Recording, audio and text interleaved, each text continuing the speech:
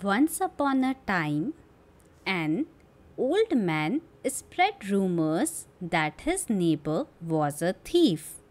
As a result, the young man was arrested. Few days later, the young man was proven innocent.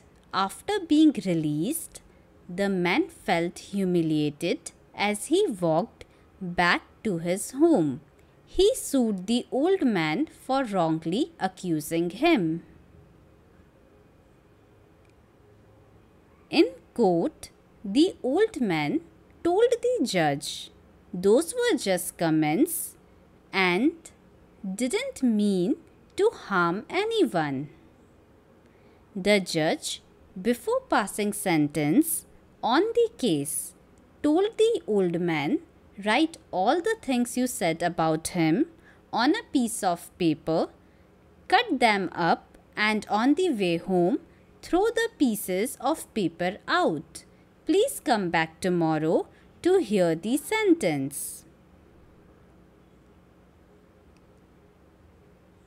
The next day, the judge told the old man, before receiving the sentence, you will have to go out and gather all the pieces of paper that you threw out yesterday.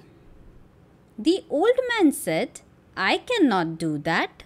The wind must have spread them around, and I don't know where to find them.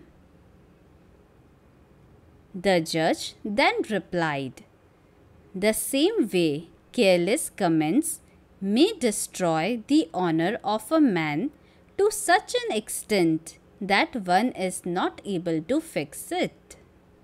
The old man realized his mistake and asks for forgiveness.